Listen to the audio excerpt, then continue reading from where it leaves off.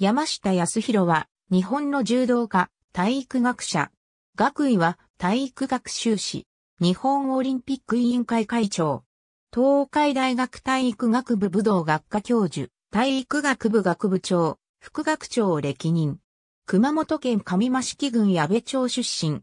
日本柔道界最強の男と称された実力者であった。東海大学柔道部監督。柔道指導員、日本オリンピック委員会会長、全日本柔道連盟会長、東京オリンピックパラリンピック競技、大会組織委員会副会長、日本オリンピアンズ協会理事。過去に全日本柔道男子強化ヘッドコーチ、男子強化部長、強化副委員長、理事、副会長、協会委員長、国際柔道連盟教育コーチング理事、神奈川県体育協会会長、朝日新聞社食卓社員などを歴任。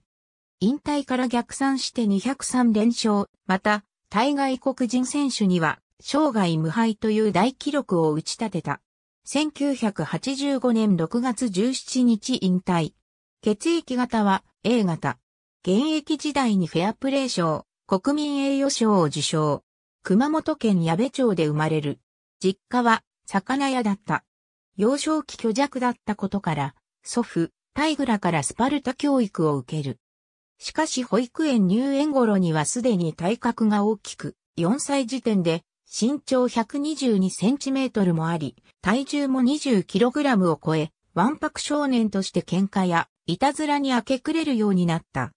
小学校低学年の頃には、あまりのわんぱくぶりに同級生から学校に行きたくないと苦情が出るほどで母親はたびたび近所等に頭を下げて回っていたという。一方で、わんぱくながらも成績は良かったという。小学校3年の1月に、藤壺道場に入門し、柔道を始めた。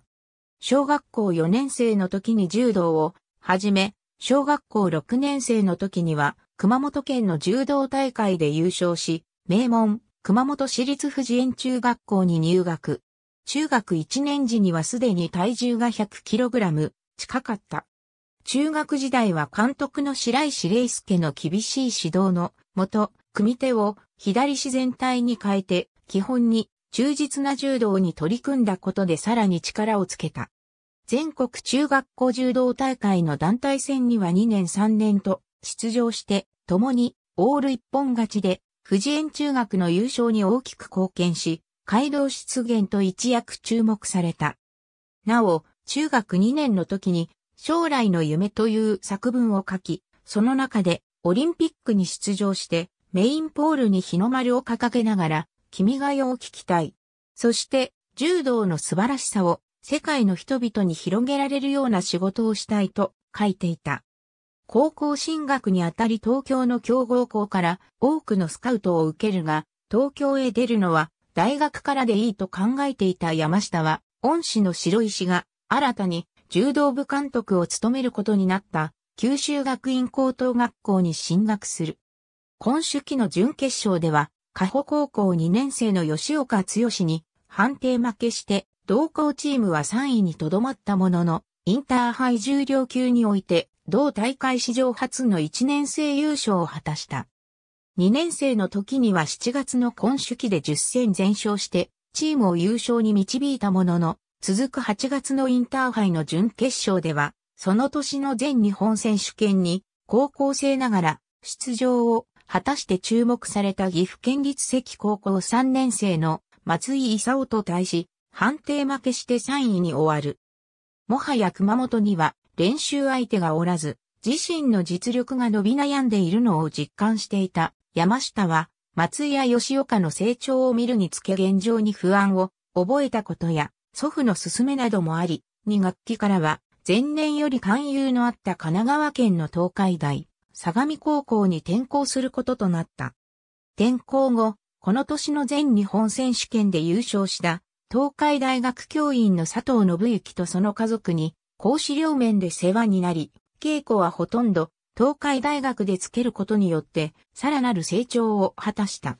また、転校後間もない9月には、付属高校の生徒でありながら、東海大学のヨーロッパ遠征メンバーの一員として加わり、現地での試合では13戦全勝を記録。11月にはドイツとの親善試合にも出場して全勝した。当時の様子を佐藤は日に日に強くなっていくようだったと呆れ口調で語り、山下も熊本から単身出てきたが、悲しくも寂しくもない。毎日が充実していて、気持ちが前向きだったと振り返る。高校3年になる直前の3月には全日本選手権の関東予選に出場して、神奈川県警の諸井光義に内股で一本負けするものの、高校生ながら出場権を得た。17歳で出場した1975年の全日本選手権では準決勝まで進出した。準決勝で旭化成の上村春樹に判定負けを喫するも3位入賞を果たした。5月にはウィーン世界選手権の国内一次予選会に出場するが、警視庁の遠藤澄夫に優勢負け、福岡県警の二宮和弘には合わせ技で一本負けを喫した。7月には二次予選会に出場するが、そこでは静岡県警の安西悦夫に優勢負けした。一方、今出期では11戦全勝して、東海大相模の初優勝に貢献すると、インターハイ団体戦では8戦全勝して、東海大相模を初優勝に導き、個人戦重量級でも6戦全勝して2年ぶり2度目の優勝を果たした。9月には全日本選抜体重別選手権に出場したが、全日本選手権同様、遠藤に優勢負けした。10月には国体高校の部に出場して、8戦7勝1分けの成績で神奈川県の優勝に大きく貢献。11月には全日本新人体重別選手権で優勝を果たした。翌76年の1月にはフランス国際に出場して準決勝でオーストリアのクラウス・ワラスにまず小内刈りで効果を取られると、続いて手足払いで技ありを取られピンチを迎えるも、その後横四方型で逆転の一本勝ちを果たすと、決勝でも1972年ミュンヘンオリンピック、重量級3位であるソ連のギービオナシビリに危険勝ちして高校生にしてフランス国際を制した。2月には1976年、モントリオールオリンピックの一次予選会に出場するも、そこで遠藤、二宮、警視庁の高木町之助にいずれも優勢負けを喫した。3月には全日本選手権の関東予選に出場して優勝し、同月、東海大相模高校を卒業。4月には東海大学体育学部武道学科に進学。そしてオリンピックの二次予選会に出場するも、上村春樹と遠藤澄夫にそれぞれ優勢負けを喫した。さらに全日本選手権にも出場するが、3回戦で前年に続き上村に小内刈りで有効を取られて敗れた。5月には全日本体重別選手権に出場するが、遠藤に優勢負けした。6月には学生優勝大会で全勝するも、チームは中央大学に敗れ2位に終わった。10月には全日本学生大会の無差別級で史上初の1年生チャンピオンに。11月には全日本選抜団体選手権に出場して6戦5勝1分けするが、チームは2位に終わった。さらに全日本新人体重別選手権大会で2連覇を果たすと、12月にスペインのマドリードで開催された世界ジュニア選手権ではオール一本勝ちで優勝を飾った。大学2年になると全日本選手権の東京予選に出場して、これを制し、全日本選手権の本大会でも順調に勝ち上がって、準決勝で高木長之助を小外刈りの有効で下した。決勝では前年のオリンピックで銅メダルを獲得した遠藤澄夫を相手に一進一退の攻防を繰り広げ、判定2から1ながらも19歳にして史上最年少優勝を果たし、街道が怪物と呼ばれるようになった。6月には全日本学生優勝大会で5戦、全勝して、東海大学の初優勝に大きく貢献。7月には全日本体重別選手権で初優勝を果たし、世界選手権 95kg 超級代表に選ばれた。しかし、9月にスペインのバルセロナで開催される予定だった世界選手権は台湾の入国問題をめぐる政治的騒動の結果、大会そのものが中止となった。10月には国体青年の部で5戦5勝して神奈川県の優勝に大きく貢献した。さらに同月の全日本学生選手権に出場するも、決勝で中央大学の吉岡剛に力2の判定負けを喫した。この一戦は公式戦において山下が喫した16回目の敗戦であるが、これ以降敗れることは一度もなかった。その直後に日祖親善試合に出場して1試合のみながら勝利した。11月には日仏祖三国対抗大会に出場して1976年モントリオールオリンピック重量級金メダリストである、ソ連のセルゲイ・ノビコフと2度対戦するが、2度とも引き分けに終わった。翌年2月には、グルジアのトビリシで開催されたソ連国際に出場して 95kg 超級では予選でノビコフを注意で破ると、準決勝ではローザンヌ世界選手権2位のソ連のラマズニチラーゼを合わせ技で下し、決勝では予選に続いて対戦したノビコフを判定で破り優勝を果たすと、無差別級ではオール一本勝ちでの優勝を成し遂げて2階級制覇を達成した。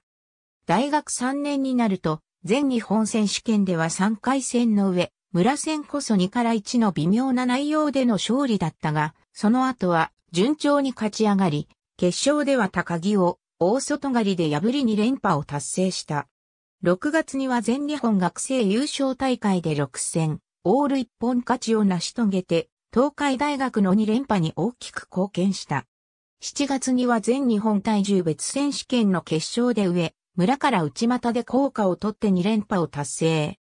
9月には日本武道館法王武道団によるヨーロッパ遠征メンバーの一員として各地で試合を行い、ウィーン世界選手権計重量級で優勝したフランスのジャン・リュック・ルージェと引き分けた以外の10戦はすべて勝利した。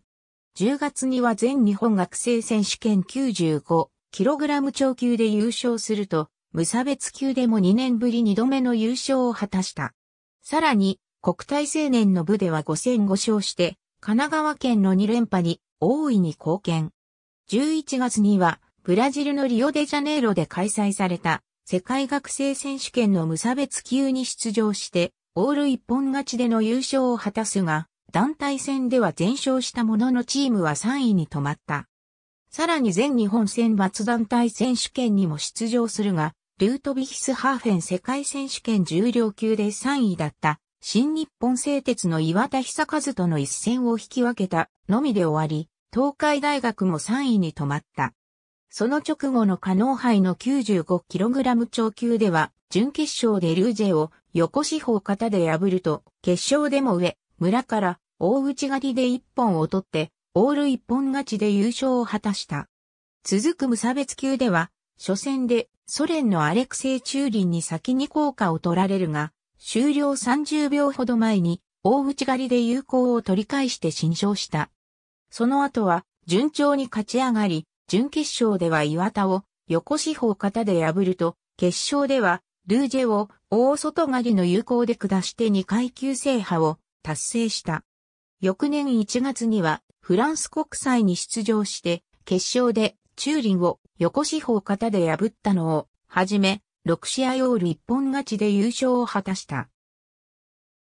大学4年になると全日本選手権では初戦から一本の山を築き準決勝では高校時代からのライバルで筑波大学大学院在籍の松井勲を横四方型、決勝では遠藤を合わせ技で破るなどして、全日本選手権では戦後初となるオール一本勝ちでの3連覇を果たした。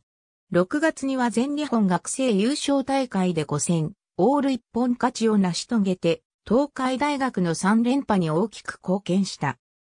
9月には全日本体重別選手権の決勝で、遠藤を合わせ技で破り、世界選手権 95kg 超級代表に選ばれた。10月には全日本学生選手権 95kg 超級で2連覇を達成すると、無差別でも決勝で国士舘大学1年生の斎藤仁にやや苦戦したものの最後は北条司法方で破り、2年連続3度目の優勝を果たした。続いて、アメリカ国際柔道大会に出場して、95kg 超級、無差別級ともに、オール一本勝ちで優勝した。12月には、フランスのパリで開催された世界選手権に出場して、準決勝でチューリンを北条司法方で破ると、決勝では地元フランスのルージェから一本勝ちこそならなかったものの、大外刈りではザーリと有効、さらには注意ポイントまで取って解消して、世界選手権で初優勝を果たした。翌年1月には選抜団体で参戦全勝して、東海大学の初優勝に貢献。2月には東海大学の韓国遠征メンバーの一員として奉還し、現地での試合では全勝した。3月、東海大学を卒業。1980年4月には東海大学大学院体育学研究科修士、課程に進学した。入学直後の全日本選手権では準決勝で松井勲に判定勝ちすると、決勝では遠藤住夫を横四方型で破り4連覇を達成した。しかしながら5月24日には日本オリンピック委員会総会においてソビエト連邦のアフガニスタン侵攻に抗議するためオリンピック大会不参加が最終的に選択された。その翌日の全日本体重別選手権では、遠藤が繰り出した奇襲ギガニ教によって山下は足の腓骨を骨折、痛み分けとなった。代表に選ばれるも試合に参加できなかった山下は他の競技の選手と共にマスコミを通じて涙ながらに訴えた。オリンピック大会不参加、ボイコット当時の山下の回想によれば、コップ酒を何杯も煽ってもとてもやりきれる気持ちではなかった。枕に顔を押し付け、止めところもなく、流れる涙を耐えるほかなかったとのこと。失意の山下は、松前重義東海大学総長から、オリンピックを観戦してきなさいと言われ、モスクワオリンピック柔道会場の観客席で観戦する。そこで世界の柔道選手と再会、交流を深め、傷つけられた心はいくらか慰められた。この不運にくじけることなく、4年後も再び日本代表に選ばれた。柔道のモスクワオリンピック代表のうち、4年後も再び代表に選ばれたのは山下ただ一人であった。山下は初めてオリンピックを目指してから3大会目にして代表として出場できることになった。1981年4月には前年5月以来約11ヶ月ぶりの試合となる全日本選手権に出場して、初戦である滋賀県警の伊藤久夫戦こそ内股による有効、止まりだったものの、その後は一本勝ちを積み重ね、決勝では遠藤を横四方型で破り5連覇を達成した。6月には体重別を欠場するが世界選手権では 95kg 超級と無差別の2階級で代表に選ばれた。9月にはオランダのマーストリヒトで開催された世界選手権に出場して準決勝で韓国の超広志徹を内股、決勝ではソ連のグリゴリー・ベリチェフを横四方型で破るなどオール一本勝ちで優勝を果たすと無差別でも決勝でポーランドのボイチェフレシェコを総襟締めで下すなど 95kg 超級無差別級の総計10試合で相手にいかなるポイントも与えずすべて一本勝ちして2階級制覇を達成した。10月には国体青年の部で6戦6勝して神奈川県の優勝に大いに貢献した。11月には日本国際柔道大会に出場して決勝で斎藤に注意で優勢勝ちを収め優勝を果たした。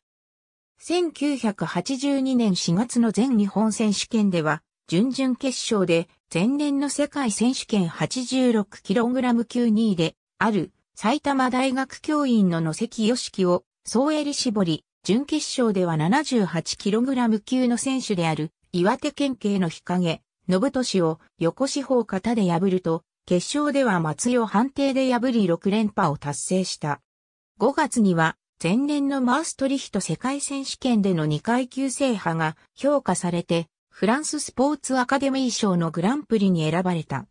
9月の体重別選手権では、決勝で斎藤を注意で破り優勝した。11月の加納杯無差別では準決勝で、天理大学の正木義美を大外刈りで下すと、決勝では斎藤を小外刈りによる有効で下して優勝。続く団体戦でも全勝して、チームの優勝に貢献した。1983年の3月には大学院を修了して4月からは東海大学体育学部の講師となった。そして全日本選手権では準決勝で新日本製鉄の藤原啓生に豪快な大外刈りで一本勝ちすると決勝では斎藤に判定勝ちして7連覇を達成した。7月の全日本体重別選手権では決勝で斉藤を指導で下して優勝を果たし世界選手権 95kg 超級代表に選ばれた。10月にソ連のモスクワで開催された世界選手権では準決勝で東ドイツのヘンリー・ストールを指導で下すと、決勝ではオランダのビリー・ビルヘルムを横四方固で破り、世界選手権3連覇を達成した。1984年4月の全日本選手権では、初戦で遠藤住夫の教え子である秋田警報大学の渡辺博実のカニバサミに横転するがポイントにはならず、その後北条四方型で一本勝ちすると、準決勝では、正木も北条四方型で破り、決勝では、斎藤仁志から注意を取って優勢勝ちして8連覇を達成した。5月の体重別選手権は欠場したが、ロサンゼルスオリンピック無差別代表に選ばれた。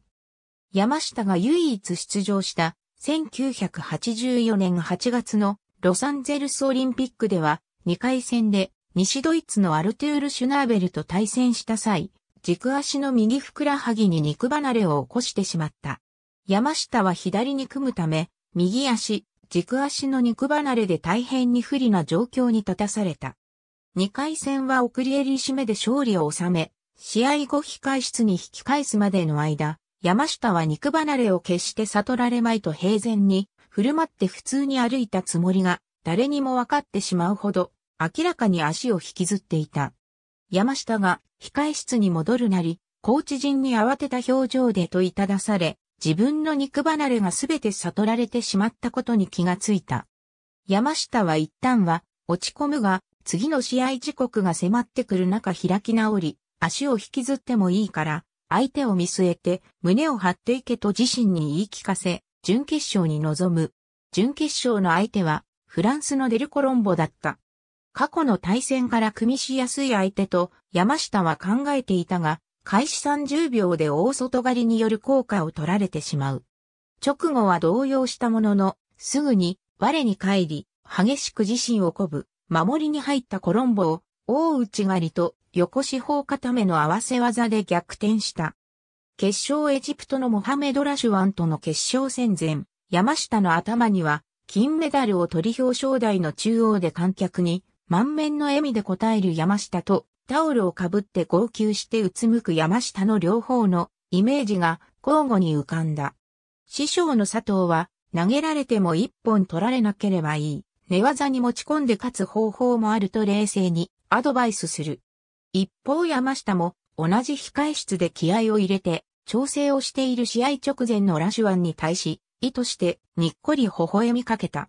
目が合い、笑顔で応じたラシュワンの緊張が解けた様を見て、山下は正気を感じていた。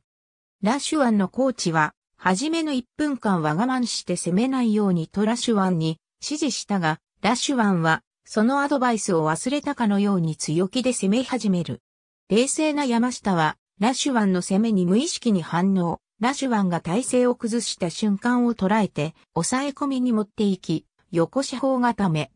一本を伝えるブザーが鳴った瞬間、山下は畳に両手を力強くついて立ち上がり、涙でくしゃくしゃになった表情を隠そうともせずに、喜びを表現した。すべて一本勝ちでの金メダル獲得である。表彰台の中央に登ろうとする山下に、ラシュワンは山下の足を気遣って手を差し伸べ、友情の証として世界から評価された。またラシュワンも山下の右足を狙わなかったという趣旨の発言をしたことから、そのフェアプレーの精神を称えられた。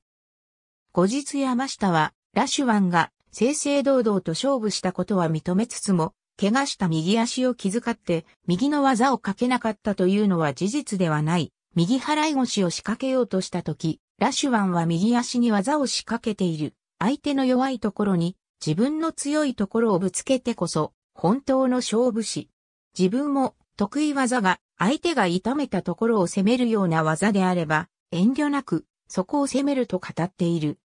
1984年10月9日にはこれまでの活躍が高く評価されて国民栄誉賞を授与された。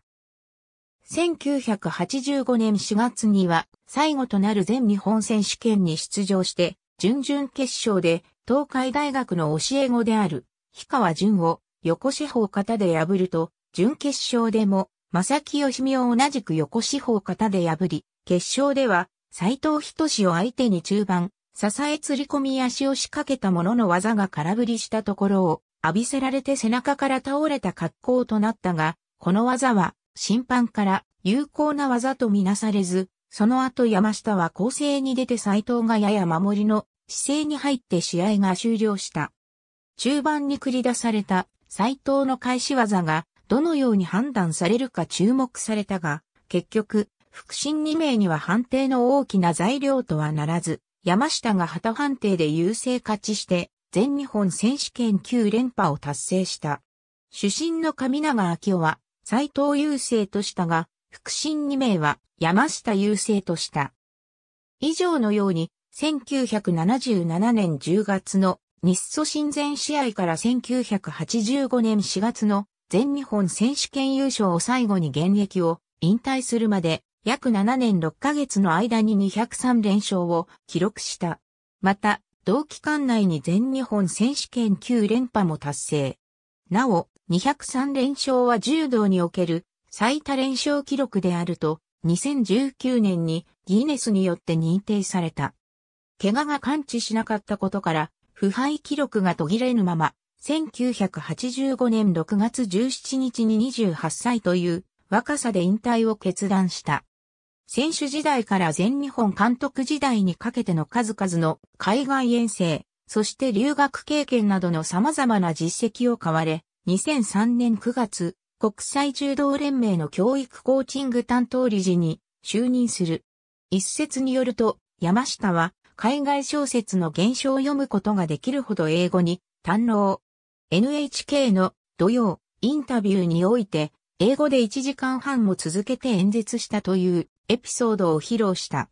また海外への出張中は、英語のニュースを聞き、半分程度は理解できると、謙遜混じりに述べた。選手生活を引退した翌年にはイギリスに1年間の留学をしている。指導者としては、かつ経験ばかりしている自分が負けた選手の気持ちを理解できるだろうかという考えのもと、海外遠征では、現地で選手をバスで観光させて、見識を広めさせるなど、柔道の枠を超えて一個人を大きく育てていくという広い視野に立った指導を進めている。シドニーオリンピックでの篠原慎一の銀メダル誤審問題により、国際試合での判定を厳密に審査する点において、システムを見直す必要を感じ、2003年、国際柔道連盟総会教育、コーチング理事に立候補し、対立候補がなく当選。就任して改革に努めた。2007年9月、国際柔道連盟総会で国際柔道連盟の教育、コーチング理事に再度立候補するも、アルジェリアのモハメド・メリジャに61対123で落選。事前の予想ではすでに山下が不利であることが知られており、山下自身も情勢は大変厳しく、皆は勝ち馬に乗るだろうと選挙2日前に述べていた。マリウス・ビゼールはメリチャを支持したため、この選挙はビゼール対山下の戦いと言われた。山下が落選したため日本は初めて議決権を持つポストを失った。2015年8月21日にアイフは世界選手権が開催されるカザフスタンのアスタナで総会を開き、行動官官長の上村春樹と共に山下をアイフ会長であるビゼールが指名する議決権を伴わない理事に登用することを決定した。任期は2年となる。両者を指名理事に加えたビゼールは柔道界のレジェンドだ。柔道の発展のため日本の存在は重要。20年東京五輪で柔道の団体戦が新種目として採用されるチャンスがある。ロビー活動において全柔連と行動感の力は不可欠だとコメントした。両者は理事会において教育や普及の分野を担当することになるという。山下は2007年以来の理事復帰となった。2013年に日本からの理事が不在となったことで日本の発言権や情報収集力など国際柔道界での影響力の低下を招いていたところだった。理事復帰に関して山下は責任の重さを感じる。理事会に入れば集まってくる情報量が格段に違う。他の IF 理事とのネットワークを使って何ができるかを考えたい。柔道を通じて日本文化を伝えたいと語った。2015年8月には IF の殿堂入りを果たすことになった。2006年4月からは NPO 法人柔道教育ソリダリティの理事長として柔道を通じた国際交流を行っている。主な活動内容は柔道用品の無料配布、柔道教材を制作し無料配布。また、2020年東京オリンピックに向け、外国人指導者、選手の受け入れ、柔道発展途上国へ日本人指導者を派遣を行っている。自他共栄をモットーに柔道を通じた人づくりに励んでいる。1996年4月より東海大学体育学部教授に就任。2009年4月、東海大学体育学部学部長に就任。2010年6月、学校法人東海大学理事、評議員に就任。2011年11月、東海大学副学長に就任し、スポーツ、社会連携担当となる。2013年3月には女子柔道強化選手への暴力問題を受けて全柔連が新たに設置した改革改善実行プロジェクトの責任者となった。8月には理事に再任されると副会長に就任した。2015年3月、休止した斉藤仁の後任として協会委員長を兼任。2016年9月、協会委員長を今野順に譲り、副会長選任となる。2017年6月、会長に就任した。2019年6月、会長に再任された。2021年6月には、満場一致で参戦を果たした。2013年6月、新任で日本オリンピック委員会理事となり、アントラージュ専門部会長となる。2016年1月より味の素ナショナルトレーニングセンターのトップに就任することとなった。その際に近年の日本スポーツ界が好成績を上げている原動力が NTC 国民の期待に応えられるような成果を出せる環境を作っていきたいと語った。2017年7月には JOC 常務理事となり、選手強化本部長に就任した。2019年6月、JOC 会長に就任。同年7月、タラオ光睦美東京都副知事と共に、東京オリンピック・パラリンピック競技、大会組織委員会副会長に就任。2019年10月には、国内オリンピック委員会連合より、選手時代の実績が評価されて、結出した選手賞を授与された。2019年12月5日、国際オリンピック委員会理事会は山下を新たな委員候補に推薦した。翌年1月10日の総会で正式に就任が決まった。山下は左組手で喧嘩4つ、体型がいわゆる上背がないあんこ型だったもあり、大きな外国選手と戦うことを考えて、奥襟は取らない柔道であった。崩しを重視し、連絡着や寝技との組み合わせで一本を取るスタイルの選手であった。本人は技について、投げ技では、大外刈りから相性のいい大内刈り、内股といった足技、固め技では方上四方型、横四方型、下差型、総襟絞りを得意としている。他にも足技では、小外刈り、しずり込み足、主義では、体落ち、つかと捨て身技では谷落ちと多彩だった。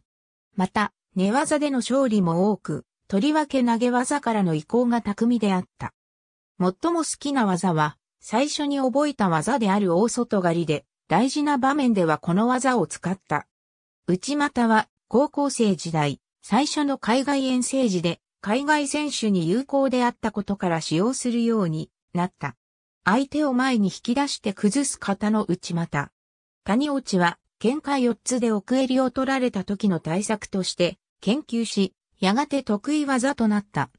また実際には使われることはなかったが、選手生活の後半には、佐藤信之の勧めにより浮き技なども施行している。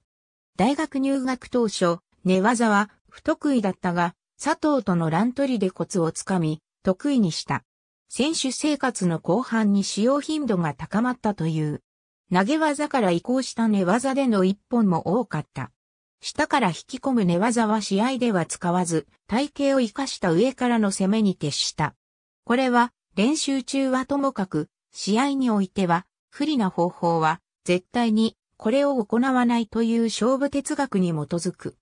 締め技、関節技では、亀で逃げる相手への総襟絞り、両手絞りや腕座足方、喧嘩4つで防御する相手への腕座腕方など、バリエーションに富む。いずれも試合での連携を重視する形で用いられた。